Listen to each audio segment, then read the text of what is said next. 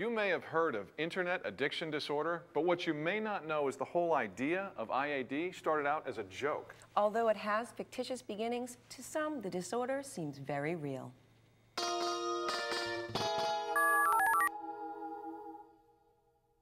first time I went online, it was such a rush.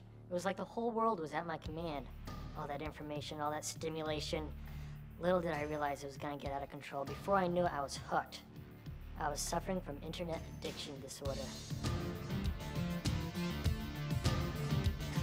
Internet addiction disorder, or IAD, has received a lot of media attention recently. As internet use continues to grow, we are learning about people whose lives have been harmed by excessive internet use. This is Johnny's story. All my friends were doing it. They were pressuring me to try it. I felt like such a dweeb, you know, the only guy in the neighborhood who wasn't online. Well, at first it wasn't a problem. I surfed around, checked out a bunch of sites, opened up the email account, you know, light stuff, no problem, right? Well, then I got into the real heavy stuff. I discovered chat rooms, multiple user dungeons. It started to change my whole life. I'm gonna lose my job. My girlfriend left me, my dog won't even look at me. People talk about addicts having a monkey on their backs. Well, I got a mouse on my back. While this problem doesn't top the Surgeon General's list, the healthcare community has begun to respond.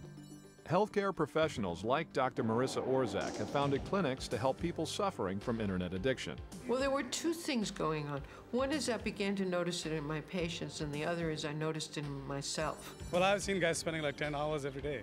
I use it a lot, and I'll stay up late, later than I should, and I'll be tired the next morning because I stayed on the internet too late. And I noticed that I was playing games more times and losing sleep. I've had to tell myself it's time to get out of this thing because you could just sit on that thing for hours because there's so much to do on it. Other symptoms are people who get more irritable.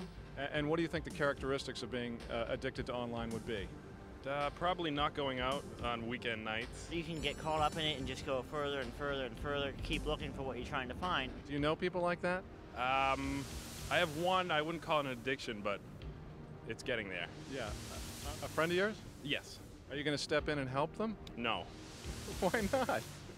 Because he gets a little agitated when you come around him around the computer. In fact, the first mention of internet addiction disorder was meant as a joke.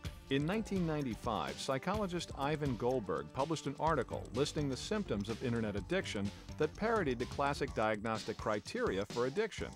Dr. Goldberg was besieged by the media for interviews and by people wanting to join his support group. He posted it as a joke.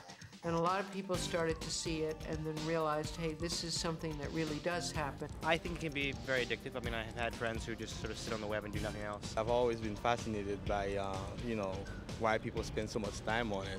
Why do you think it is?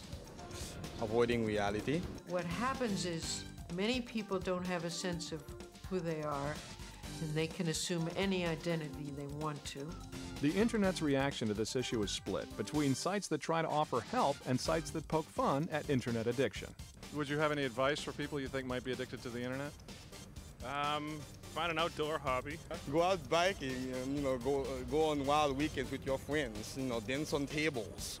Take breaks whenever possible. Make sure that you're only doing things for a, for a specific goal.